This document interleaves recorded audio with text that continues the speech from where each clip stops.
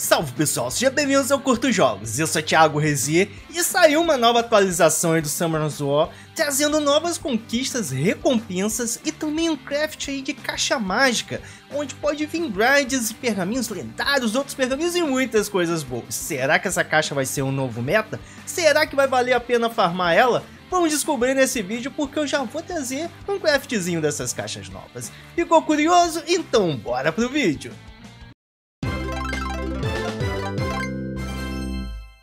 E aí, tudo bem com vocês? Comigo tá tudo bem? E pra variar, né, Camchos pega a gente aí de surpresa lançando umas atualizações assim, puta uma atualização. Essa daqui não é tão, tão surpresa, porque quem tava acompanhando lá o Reddit já viu que o pessoal já tinha meio que garimpado é, isso que entrou aqui no jogo, pelo menos parte do que tá.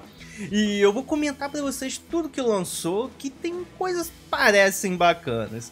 A primeira coisa são conquistas novas, então a gente tem um menuzinho aí, uma interface com novas conquistas pra gente subir, são cento e... Se eu não me engano são 170 e poucas conquistas ou algo assim. Ah, a questão é, a gente já sabia, já tinha uma ideia que ia lançar essas conquistas, mas a gente imaginava que os prêmios seriam bem melhores, tinha coisa garimpada lá com pergaminho acidental, umas coisas tudo lá, mas na verdade isso aqui decepcionou um pouco a gente vai ganhar só uma, só uma recompensa a cada grau de conquista que passar. E quando a gente chega no iniciante 1, pega 100 energia, depois 550 mil de mana, depois 50 cristais. São três pergaminhos místicos e no final um pergaminho de luz escuridão. Sinceramente, eu achei meio pouco. A Come Choice poderia sim ter colocado coisas melhores aqui, até porque eu acho que vai demorar para todo mundo chegar no máximo aqui de conquistas para pegar só SLT, ah, poderia aqui sim ter colocado um pergaminho transcendental e dado para todo mundo a oportunidade de ter um, um novo Nat 5 garantido, ou aquele dupezinho, oh, Mas aguenta aí que eu vou mostrar melhor para vocês ainda como é que funcionam essas conquistas. Além disso, uma leve modificação quando você faz sua primeira 6 estrelas, 5 estrelas máximo, né? Antes você ganhava dois Rainbow, um Rainbow Mon 4 estrelas, agora você ganha dois. É bom aí para quem tá iniciando no jogo agora. Mais uma melhoriazinha, mas não vai modificar muito. Ah, no seu livro lá, no seu bookmark, agora tem um painel que mostra todas as suas conquistas. Também vou mostrar isso daqui melhor para vocês tiveram algumas mudanças também nas bestas elementais. Segundo a Camchoice, não vai dropar tanto mais pedaço de runa, as runas vão ser melhoradas o drop e também as grinds. Eu já testei, já fiz um cado de bestas e realmente isso daqui parece que é verdade. Uh, o drop de runas melhorou bem, eu não dropei pedaço de mana nem nada do tipo.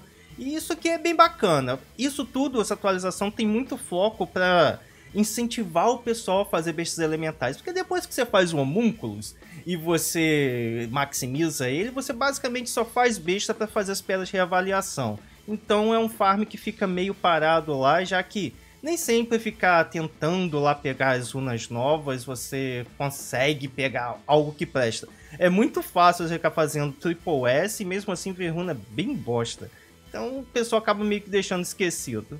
Mas eu acho que de tudo aqui, tirando essas conquistas novas, que vai dar uma certa vantagem de fazer elas, upar, ganhar algumas recompensas, mas eu acho que o melhor de tudo, e eu espero que seja o melhor, e a gente vai testar isso nesse vídeo, porque a gente vai fazer essa caixinha, é uma nova caixa mágica lendária, aonde você pode pegar qualquer uma dessas recompensas, sendo que grind é garantido. O que eu tô na dúvida é, será que a grind são as grinds para as runas novas ou de qualquer runa?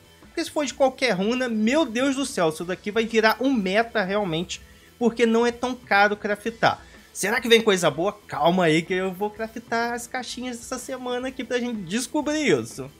Bom, também tem alguns edifícios novos de decoração. Sinceramente, isso daqui eu cago por isso. Mas tem gente que gosta de enfeitar a ilha, né? A minha ilha, ela tá ali tudo jogado, amontoado. Eu não tenho a mínima vontade de ficar modificando, enfeitando, colocando decoração. Não, eu não ligo exatamente para isso.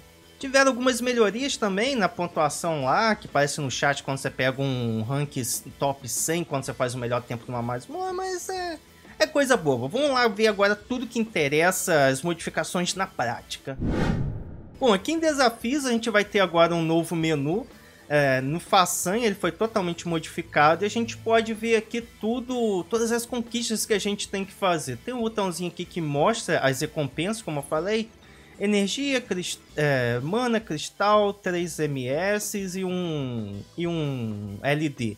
Novamente, Come to Us, achei o prêmio muito pouco mesmo, muito pouco para uma coisa que só vai conseguir pegar uma vez. Eu acredito que só vai pegar uma vez. E quando você faz as missões, pegar alguma aqui qualquer que já está até completa, por exemplo essa, é, você não ganha nada além de mana, é somente mana que você ganha. E os pontinhos, obviamente, para é, subir isso daqui é mais ou menos parecido com é, as conquistas lá da guilda. A diferença é que a conquista da guilda, pelo menos, dá coisa boa da Cristal. Eu, a gente esperava que aqui nessas conquistas para você completar, você já ganhasse alguma coisa. Sei lá, um MSzinho, um K de cristal. Não. Você só vai ganhar mana mesmo. Ok, é melhor do que nada, né? Até hoje a gente não tinha isso, então 500 já é uma ajudinha. Mas poderia ser melhor novamente. Bom, agora no seu perfil, aqui a gente vai ter é, essas conquistas para você mostrar para o pessoal o quão forte você é cá no seu histórico. Você vai ter na última aba agora para todo mundo ver aí publicamente quais são as conquistas que você já fez. É, é legal, legal. Novamente, melhor do que nada, mas sinceramente, essa parte das conquistas não me animou tanto. E CJ, CJ, por que, você está gravando esse vídeo, já que essas conquistas não te animou? Então o que, que te animou nessa atualização? O que possivelmente me animou nessa atualização é exatamente isso daqui. A nova caixinha que entrou, Caixa Mágica Lendária. Primeira coisa, é, a gente já tinha duas caixas aqui para craftar com os pontos de bestas, mas ela não valia a pena, muito cara, muito cara mesmo, e os itens que vinham normalmente eram bem bosta, costumava vir um pedaço de runa, poeira mágica, era muito raro vir alguma coisa boa, e repara que o custo é muito alto.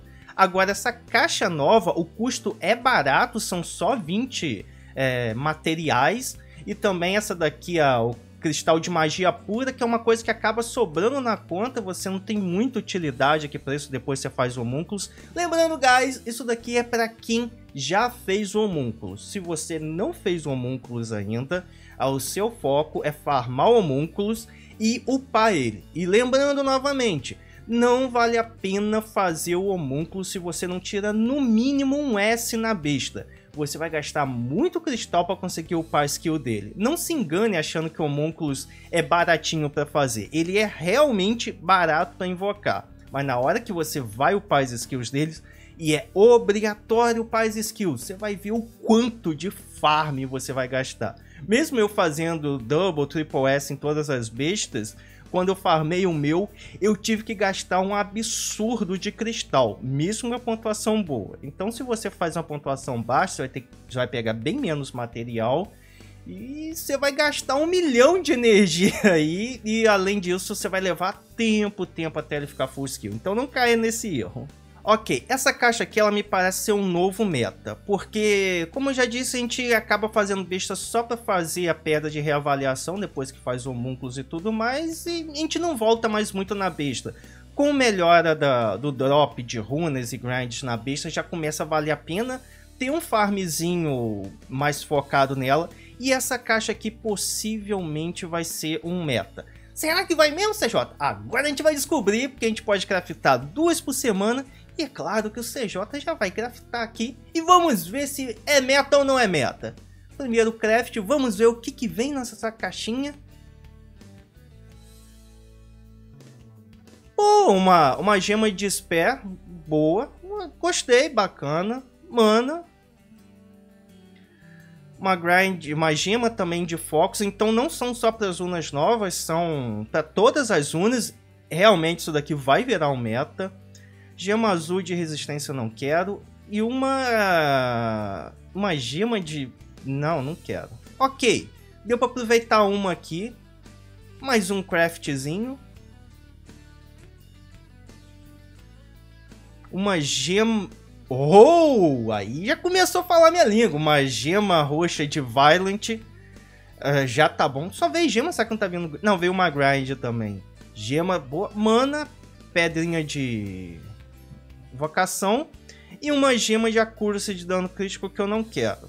Ok, guys, minha opinião é, realmente isso daqui vai, vai ser não, agora é um meta para quem já fez o Homunculus, fazer essas caixinhas toda semana, porque vem realmente gemas e grinds bacana. Sempre naquele RNG da, da Come to Us que a gente já conhece, mas não é caro fazer elas, é bem... Agora que eu reparei que a... é meio caro sim o cristal mágica condensada, são 150, mas ainda assim eu acredito que vale a pena, é mais uma chance aí de você pegar uma grindzinha. E além de grind, você pode ainda pegar outros pergaminhos. Eu não estou esquentando muito a cabeça com os pergaminhos, mas sim com as grinds, que é um dos recursos mais valiosos aí para quem está no late game. Só quem farma raid e tudo mais sabe o quão diferente faz no seu mob quando ele está totalmente grindado, gemado e tudo mais.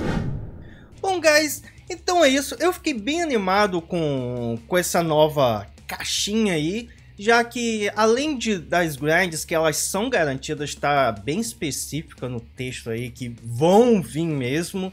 Então, além do labirinto da raid, a gente tem mais uma possibilidade de pegar grinds e gemas. Isso ajuda pra caramba. Oh, muitas vezes a gente passa muito tempo na raid tentando pegar as grinds certas. Alô, Violent! Eu preciso de vocês, grinds de Violent, se vocês me odeiam que eu nunca consigo pegar. É onde tem meu maior gargalo de runas de melhorias, é nas danadas das Violents. Existe algum algoritmo no, no, na Camtuous que fala Violent Grind não vai vir na raid, vai vir para todos os seus amigos, mas para você não vai vir. É, mas aí é mais uma possibilidadezinha de a gente é ter um farm meio que garantido.